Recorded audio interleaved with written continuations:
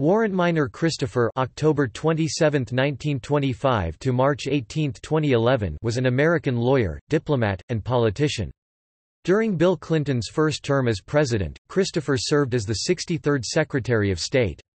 Born in Scranton, North Dakota, Christopher clerked for Supreme Court Justice William O. Douglas after graduating from Stanford Law School. During World War II, he served in the Pacific Theater as a member of the United States Naval Reserve. He became a partner in the firm of O'Melveny and Myers and served as Deputy Attorney General from 1967 to 1969 under President Lyndon B. Johnson. He served as Deputy Secretary of State under President Jimmy Carter, holding that position from 1977 to 1981. In 1991, he chaired the Christopher Commission, which investigated the Los Angeles Police Department in the wake of the Rodney King incident. During the 1992 presidential election, Christopher headed Bill Clinton's search for a running mate, and Clinton chose Senator Al Gore. After Clinton won the 1992 election, Christopher led the Clinton administration's transition process, and he took office as Secretary of State in 1993. As Secretary of State, Christopher sought to expand NATO, broker peace in the Israeli-Palestinian conflict, and pressure China regarding its human rights practices. He also helped negotiate the Dayton Agreement, which ended the Bosnian War. He left office in 1997, and was succeeded by Madeleine Albright. Christopher oversaw the Gore campaign's Florida recount effort in the aftermath of the disputed 2000 presidential election. At the time of his death in 2011, he was a senior partner at O'Melveny Myers in the firm's Century City, California, office. He also served as a professor at the University of California at Los Angeles.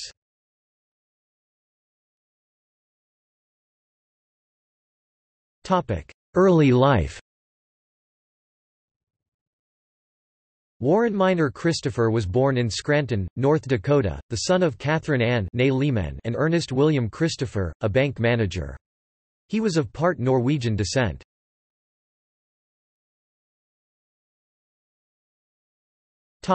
Education Christopher graduated from Hollywood High School, and attended the University of Redlands, before transferring to the University of Southern California USC. He was a member of the college fraternity Kappa Sigma Sigma. He graduated magna cum laude from USC in February 1945. He attended Stanford Law School from 1946 to 49, where he was the founder and president of the Stanford Law Review and was elected to the Order of the Coif.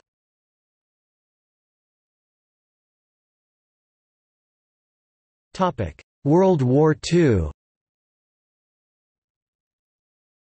From July 1943 to September 1946, he served in the United States Naval Reserve, with active duty as an ensign in the Pacific Theater.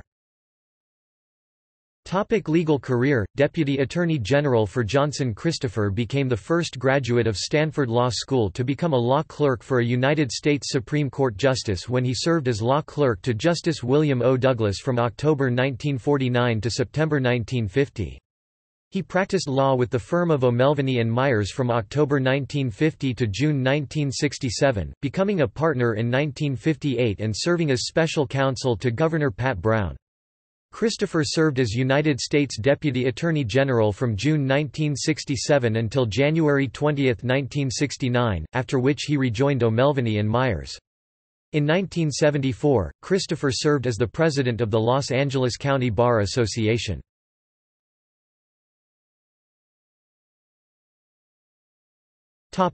Deputy Secretary of State for Carter Christopher was sworn in on February 26, 1977, as the Deputy Secretary of State and served in that position until January 20, 1981. As Deputy Secretary, he was involved in negotiating the Algiers Accords, and securing the release of 52 American hostages in Iran. He also spearheaded the Sino-American relations with the People's Republic of China, helped to win ratification of the Panama Canal Treaties, and headed the first interagency group on human rights. President Jimmy Carter awarded him the Presidential Medal of Freedom, the nation's highest civilian award, on January 16, 1981.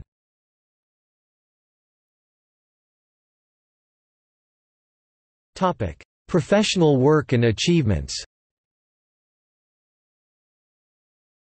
Christopher's professional activities have included service as president of the Los Angeles County Bar Association, 1974–1975, chairman of the Standing Committee on the Federal Judiciary of the American Bar Association, 1975–1976, member of the Board of Governors of the State Bar of California 1975–1976, and special counsel to California Governor Edmund G. Brown in 1959. Christopher's civic activities have included the following, member and president of the Board of Trustees of Stanford University, chairman, Carnegie Corporation of New York Board of Trustees, director and vice chairman, Council on Foreign Relations, director, Trilateral Commission, Bilderberg Group, Los Angeles World Affairs Council, vice chairman of the Governor's Commission on the Watts Riots the McCone Commission in 1965–1966, president, coordinating council for higher education in the state of California, fellow of the American Academy of Arts and Sciences, and Chairman Emeritus, Pacific Council on International Policy. In 1981, Christopher received the U.S. Senator John Heinz Award for Greatest Public Service by an elected or appointed official, an award given out annually by Jefferson Awards. In 1991, Christopher served as chairman of the Independent Commission on the Los Angeles Police Department, which came to be known as the Christopher Commission. The Commission proposed significant reforms of the Los Angeles Police Department in the aftermath of the Rodney King incident see 1992 Los Angeles riots, which were approved overwhelmingly at the ballot box. In 1992, Christopher headed the vice presidential search for Governor Bill Clinton and served as the director of his presidential transition.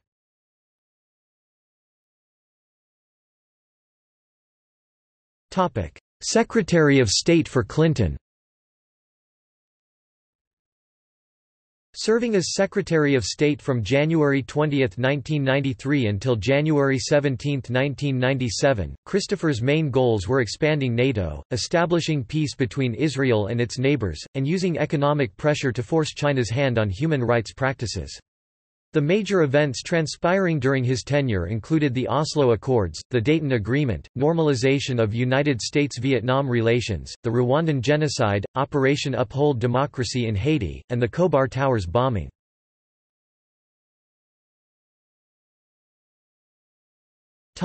Assassination attempt on George H. W. Bush, April 1993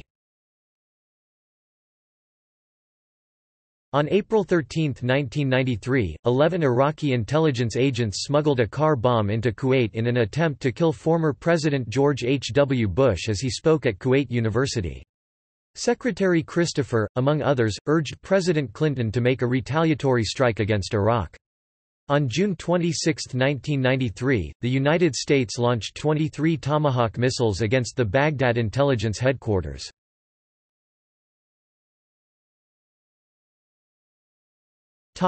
Oslo Accords, September 1993 In August 1993, Israeli and Palestinian negotiators meeting in Norway drew up the Oslo Accords, which created the Palestinian Authority in exchange for Palestinian recognition of Israel's right to exist. Secretary Christopher accepted Israeli Foreign Minister Shimon Peres's offer to host the signing ceremony.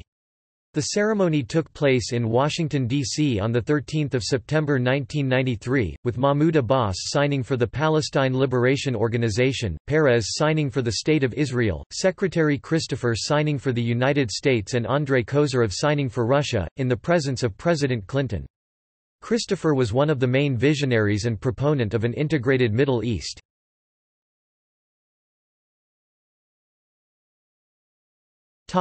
Partnership for Peace NATO expansion, January 1994 In order to initiate further enlargement of NATO with minimal backlash from Russia, Secretary Christopher promoted the Partnership for Peace program as a stepping stone into full NATO membership. This was against protests from the Pentagon.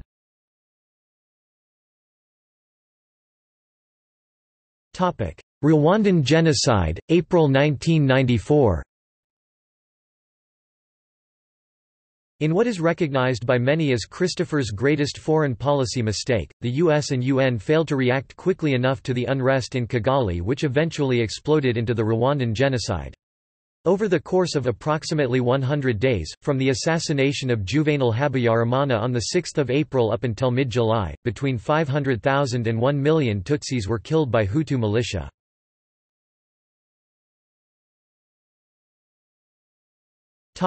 China, delinking human rights and trade status, May 1994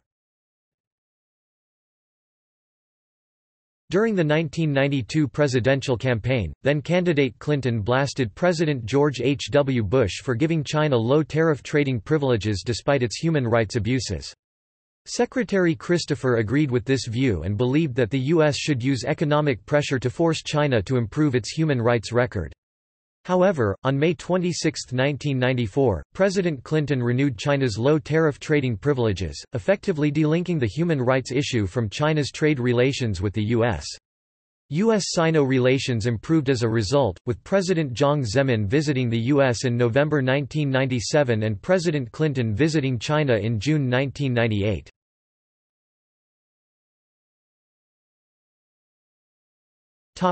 Operation Uphold Democracy in Haiti, September 1994 On September 19, 1994, a U.S.-led coalition returned Haiti's popularly elected President Jean-Bertrand Aristide to power after a coup had unseated him. The U.S. military effort, known as Operation Uphold Democracy, was largely the product of Colin Powell's diplomatic efforts, with little role played by Christopher.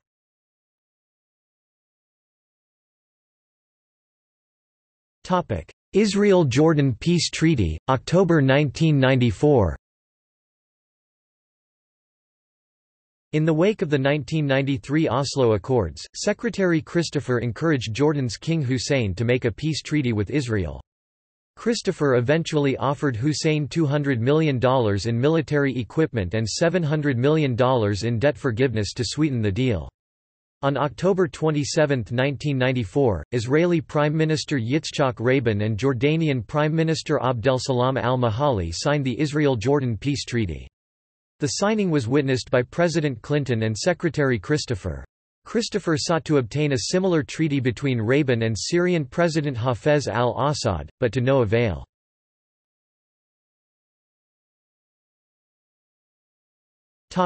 Vietnam, Normalizing Relations, July 1995 Working with Senator John McCain, in 1994, Secretary Christopher began actively promoting the normalization of United States-Vietnam relations. At the time, the U.S. had not had an embassy in Vietnam since 1975.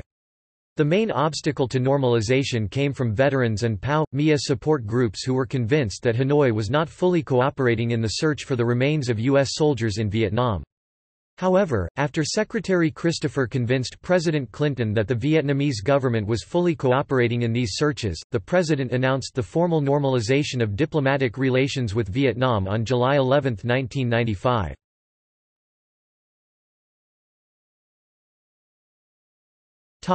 Dayton Agreement, November 1995 In Dayton, Ohio, Secretary Christopher—working with Assistant Secretary Richard Holbrooke, negotiated peace talks between President of Serbia Slobodan Milosevic, President of Croatia Franjo Tudman, and President of Bosnia Alija Izetbegovic. The result was the November 1995 Dayton Agreement, which put an end to the Bosnian War.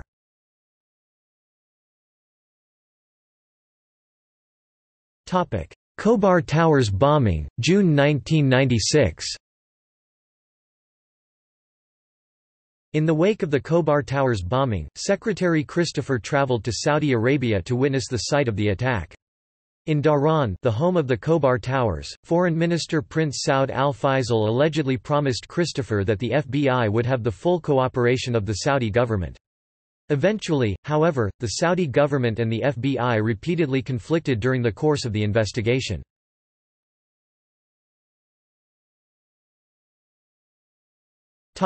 Retirement In addition to several honorary degrees, Christopher received the following awards, the Jefferson Award from the American Institute for Public Service for the greatest public service performed by an elected or appointed official, the UCLA Medal, the Harold Weil Medal from New York University, the James A. Garfield Baller Award, the Thomas Jefferson Award in Law from the University of Virginia Law School, and the Louis Stein Award from Fordham Law School. Christopher's picture hangs in the War Remnants Museum in Ho Chi Minh City, near pictures of John Kerry, Robert McNamara, Elmo Zumwalt, and other American dignitaries, in commemoration of his visit to Vietnam. After normalization of relations between the two countries, at the 1999 unveiling of his portrait at the Department of State, attended by President Clinton, Christopher remarked, To anyone who has served in Washington, there is something oddly familiar about having your portrait painted. First, you're painted into a corner, then you're hung out to dry and, finally, you're framed." He was sent to supervise the contested Florida recount for Al Gore in the U.S. presidential election, 2000. In the 2008 film Recount, which covers the days following the controversial election, Christopher was portrayed by British actor John Hurt. He was a member of the Washington Institute for Near East Policy Board of Advisors. He was an advisory board member for the Partnership for a Secure America, a not-for-profit organization dedicated to recreating the Bipartisan Center in American National Security and Foreign Policy. Former Secretaries of State James Baker and Christopher served as co-chairs of the Miller Center's National War Powers Commission. Baker and Christopher testified on March 5 before the House Foreign Affairs Committee about the War Powers Consultation Act of 2009 the statute that the Commission unanimously recommended in its July 2008 report. The statute is designed to replace the War Powers Resolution of 1973 and provide for more meaningful consultation between the President and Congress on matters of war. From 2003 until his death, Christopher taught a small seminar course on international affairs as part of the honors program at UCLA.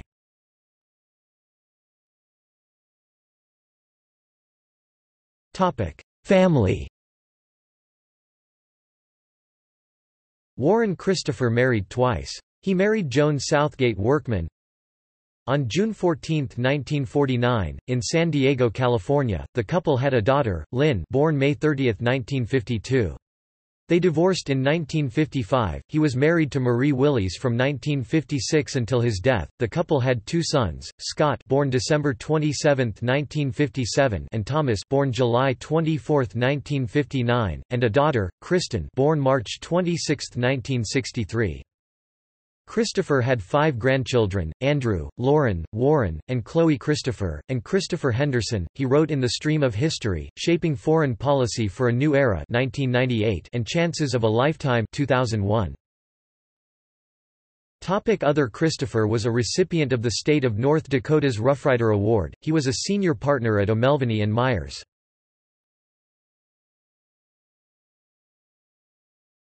Topic: World Justice Project.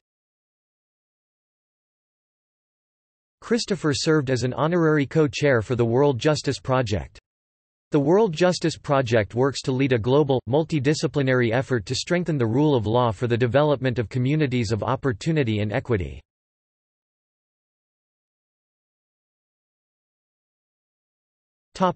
Death Christopher died at his home in Los Angeles on March 18, 2011, from kidney and bladder cancer. He was survived by his wife and four children from two marriages. He is interred at the Forest Lawn Memorial Park in the Hollywood Hills. President Obama described Christopher as a resolute pursuer of peace for his work in the Middle East and the Balkans. Hillary Clinton described Christopher as a diplomat's diplomat, talented, dedicated and exceptionally wise. He was described as the best public servant I ever knew by President Jimmy Carter in his memoirs. On March 19, 2011, Carter stated that, "...America has lost a great and revered leader."